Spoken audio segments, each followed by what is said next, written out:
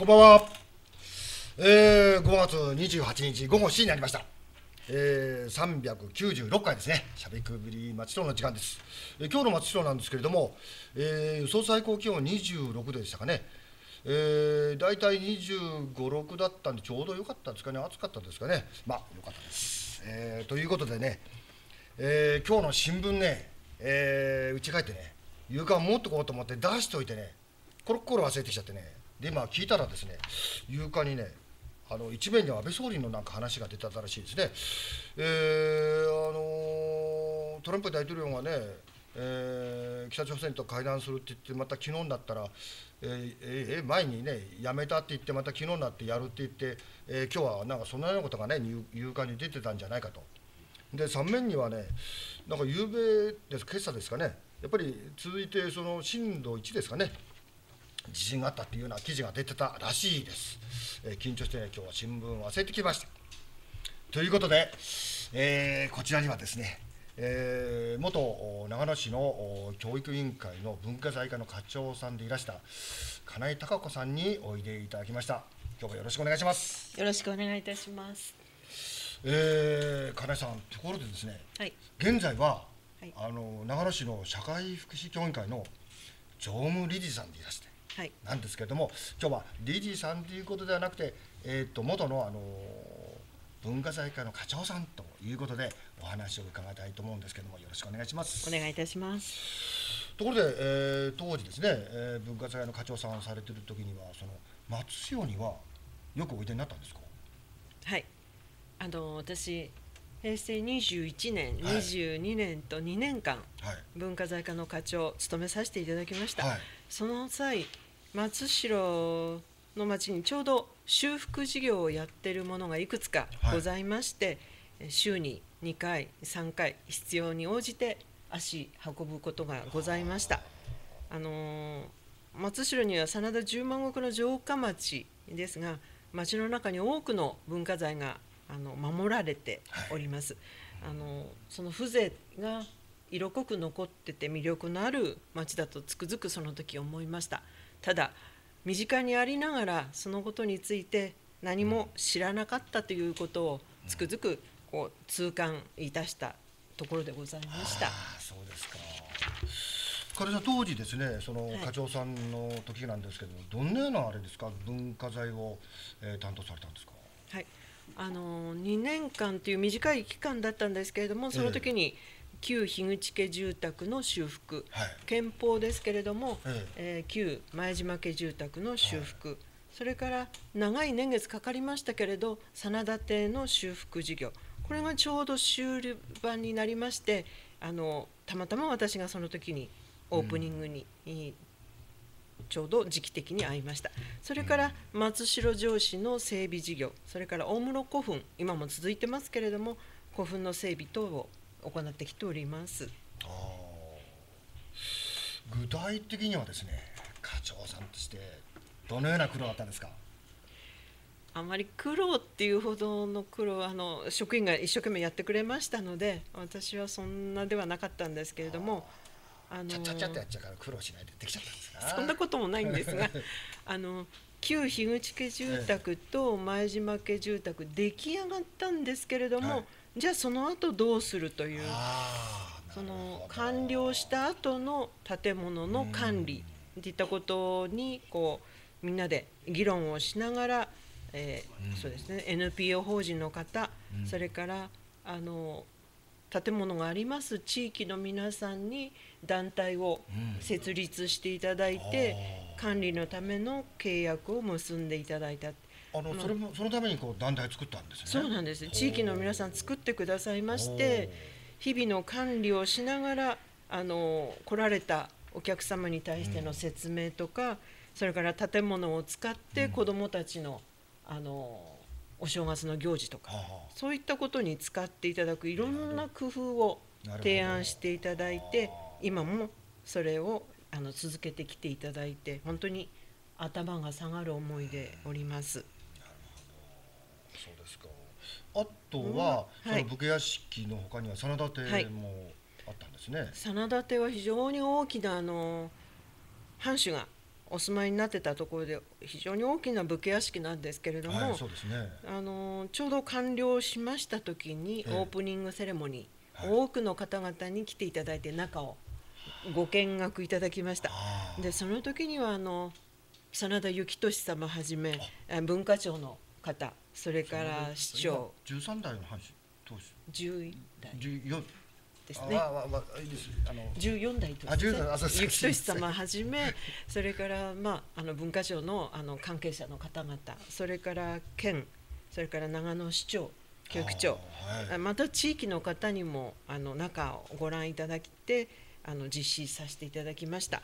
本当に多くの方が来ていただいたんですけれどもその広い武家屋敷の中ただ見るんじゃなくてあの松代のボランティアガイドの皆さんが一つ一つ丁寧に説明をしてくださいましてあのお着物を着て説明してくださった方も何人かおいでになりまして多くの方々がこうスムーズにあのご覧いただいて対応ができたことでえどなたもご不満が出るようなこともなくあの終了することができました。それこそ地域の皆様のお力添えのおかげです。と思っております。それでは当時課長さんの時にそのオープニングセレモニーのこの一番中心にされたんですね。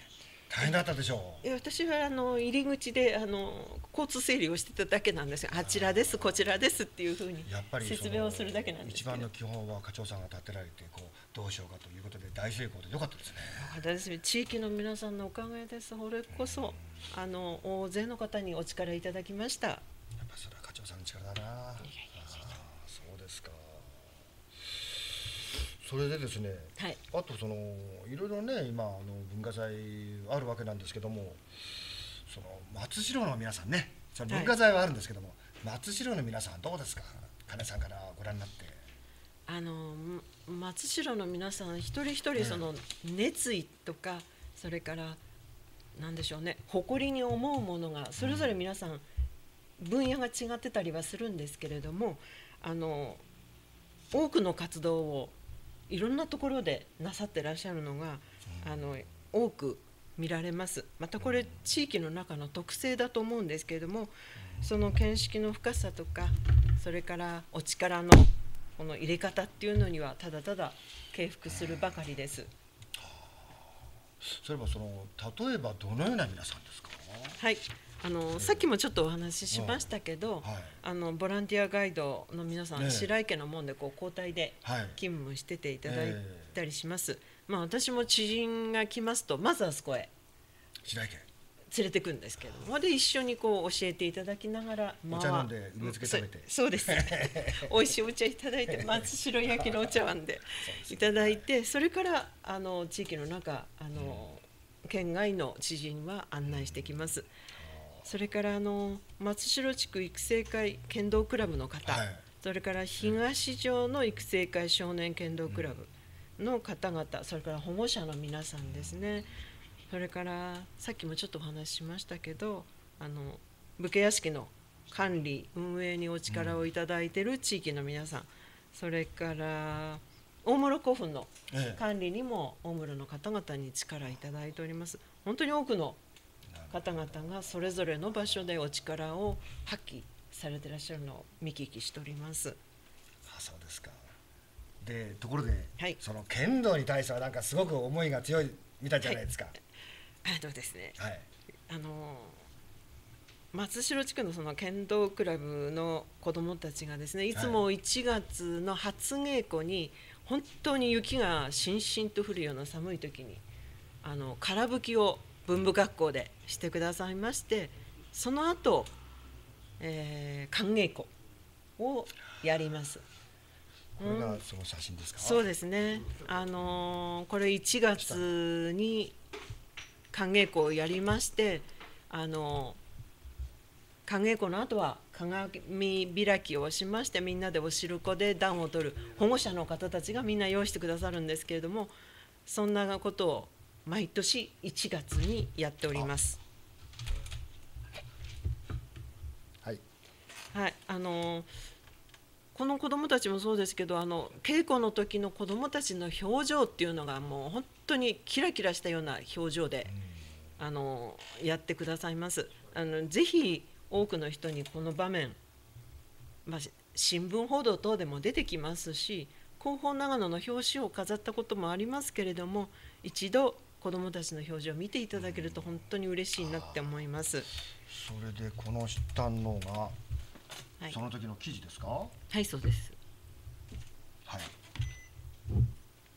そうですね。これ29年の1月10日の時の新聞に新米の記事で載りましたけれども、毎年こういったことを1月にやっていただいてます。本当に保護者の皆さんも一緒にこう子どもたちの応援をしながらあの関わってていただいてありがたいことです。1月一番寒い時ですよね。寒いです。すんごい寒いです。でこれ素足で雑巾がけして子どもたちは。子どもたちは。子供たちは。やってくれてます。はい、私お汁粉だけ食べて帰ります。そうですか。はい、皆さんで作るんですか？一緒にあの保護者の皆さんはね、あの稽古やってる間に作ってってくださるんですよ。ありがたいです本当に。はい、わかりました。で、えーこれはえーっと最近のこれ新聞ですねこれは。あ、そうですね。あのあのここで。5月19日と20日に、はい。えっ、と全国中学校選抜剣道大会、はい。それから小学生の選抜剣道大会松代であるんですねこ。れ今年の新聞ですねそうですね。あのー中学校の方は松代藩文部学校期争奪であ小学校の方は松代藩文部学校杯争奪になりますね。で小学生の方たちの決勝戦うんこれはもう文部学校の剣術所でこの古い建物を使って決勝を行います。これは毎年なんですけれども。あ毎。年されてるんですね。ね、あ。のそれこそ剣道をやってる子どもたちにとってみると、文部学校でその最後の決勝戦に出るっていうのが、あの目標になってるんですよ。全国でしょ？全国ですよ。全国から剣道をやってる子どもたちここを目指して来るんです。我々あの松代に住んでるだけでも鼻高いですね。鼻高いですよ、ねえ。本当にそうですか。あのなんていうんですかね文化財を使いながら、それで守って活用していただいて文化財を使いながらか。いるんですよ。でね子どもたちってその剣道の子だけじゃなくて松代小学校の子どもたちも300人近くがこう入れ替わり立ち替わりあの文部学校へ来て空吹きをそれこそあの雑巾一生懸命使って磨いてくれるんです。でこういった子どもたちのその積み重ねっていうのが松代にこう脈々とあの地域に対する誇りみたいなものを培ってるんじゃないでしょうかね。そんなふうに私いつも感じます。すみません。ちょっと進行が下手で時間も終わってきてしまったんですけども、金井さん私になんか質問あるみたいなんですえあの簡単に、ま簡単に。ええ簡単に。松な代松代の中だけじゃなくて、ま、東京にも松代のゆかりの文化財がありますので、ええ。それもぜひあの見ていただきたいですね。あのあお台場に。にあるんですか？はい。お台場にあります。あの砲台の跡があります。松代藩が管理してたところがえございます。それあと,、えーと上智大学の真田堀グランドというグランドがございます。はあ。これもぜひ東京行かれたら見ていただきたいですね。わかりました。またあの私東京行く時にまた教えてください。すぐ忘れちゃうんで 申し訳ありません。それではあの先ほどもね冒頭申し上げたんですけれども、はい。あの金井さんは今ね、はい。えー社会福祉協議会の常務理事さんなんですけども、はい。その社協から見たその町の文化財ですかね。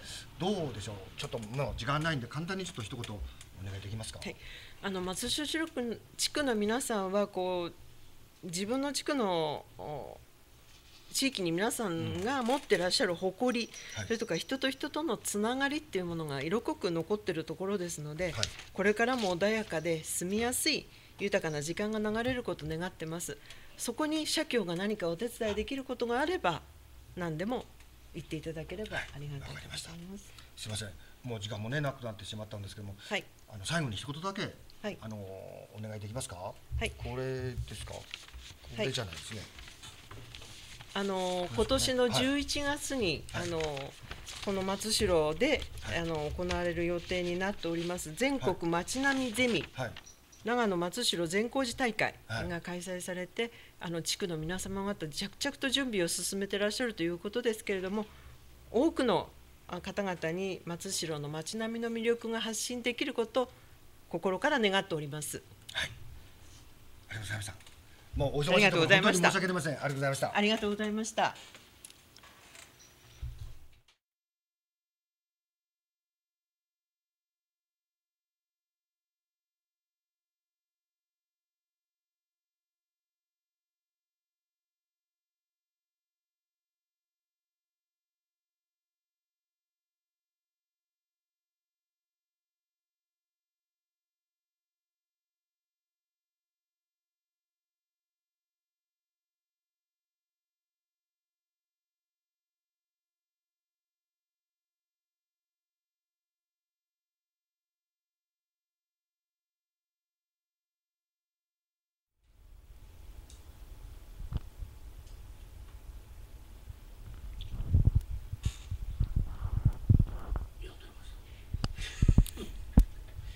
いや三田お？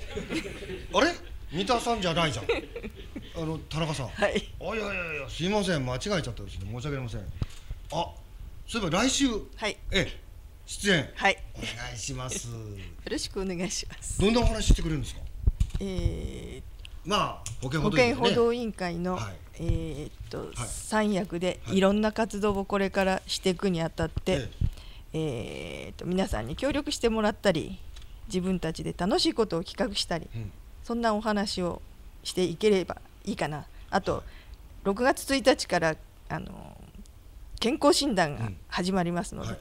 ぜひ皆さん健康診断を受けて、わかりました。はい、あのーえっと保険補導委員会はなかなかやっぱりあのこちら常務生いらっしゃいますけども社協の関係ですよね。はい、そうです。あのね社協の方にねお伺いするとね今年のね保険補導員の役員さんはねすんげえやる気満々でね気合い入れてるって言うんですがね どこが入ってるんですかね気合い。気合い。うん、すごい気合入ってるんですよ。でね推薦されたんですよ。あの今年のね保険法で員の皆様ねすごいんでねぜひあのお話聞いてくださいって言われちゃったんでどこら辺が何がすごいか。もったいぶ自然体で。あ自然体で、はいそれはあの来週喋るから、はい。え今喋ったらダメだ。ダメ。はいわかりました。来週たっぷりと。来週はい。たっぷりとその気合入ったところをお聞きすると。わかりました。はいじゃあそこら辺突っ込んでね、はい。お伺いしたいと思いますけども。じゃあ来週はねお三人出ていただけるんですか？はい三人で。はい、わかりまし。したはい、それでは来週ね、はい。ぜひあの面白いお話を。はい。よろしくお願いします。はよろしくお願いします。それではバトンタッチで三田さん？あ、三田さん出る。あ、違うの？あ、私。はい。はい。それでまた私だそうですんでね。はい。今日はねずっと出てますね。はい。はい。そうですね。ご知らせがあるそうで。はいはい。えっと、松代文化ホールでは6月2日、は3日に2つのイベントを行います、はい2日なんですが、えっと、2台のピアノとサックスのコンサートを行います、はい、こちらの松代にゆかりのある3名が、えっと、今回一堂に会して素晴らしいコンサートはい、ピアノと、えっと、サックスですね。はいはい、素敵なコンサートやりますので、ぜひはい、チケット絶賛発売中です。皆様ぜひチケットになってください。チケット大人が3000円ですね。で、えっと高校生以下が1500円ではいご用意をしておりよくあるじゃないます。ですか。このテレビを見たら安くなるとかってないんですか？あ、ちょっと松代テレビを見たら あの一割引きですとかないの？それ。えっと偉い人と相談してきますのでまた。ね松代テレビ出たよあじゃあ出たじゃねえ松代テレビを見たよって言ったらね一割引きですとかってあればいいですねそうですねちょっとじゃあね頑張ってみます。はい。冗談ですよ。ありがとうございはます。はい。こちら6月3日次の日なんですけれども、えっと松代文化ホールの日今年でと30周年を迎えます。はい、30周年経ちました。で皆様松代の皆様に感謝の気持ちを込めてですね、えっと歌と踊りのステージと、松代マルシェという市場ですね、うん開催しますので、ぜひ皆様お友達ご家族を誘い合わせの上、はい。はい、皆様でぜひいらしてください。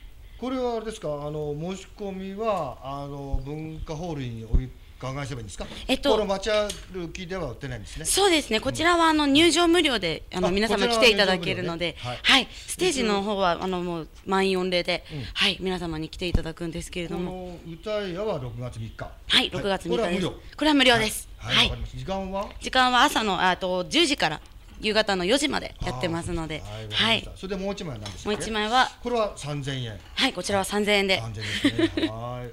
これいつでしたっけ？こちらは6月2日です。はい、2日ね。はい。えー、お三人出ていただくと。はいはい、わかりました。ね、あのぜひですね、えー、6月2日、3日、ねはい両方文あの町の文化ホールでございますんでね、ぜひおいでください。はいお待ちしてますはいますそれからあー先ほど申し上げました来週のしゃべくり松代は、えー、保健報道員の活動についてということでね。来週田中さんほか、えー、役員の皆さんにね、はい、出ていただきますんで、はい、よろしくお願いします。はい、はい、はい、それでは来週のしゃべくり祭りをどうぞお楽しみに。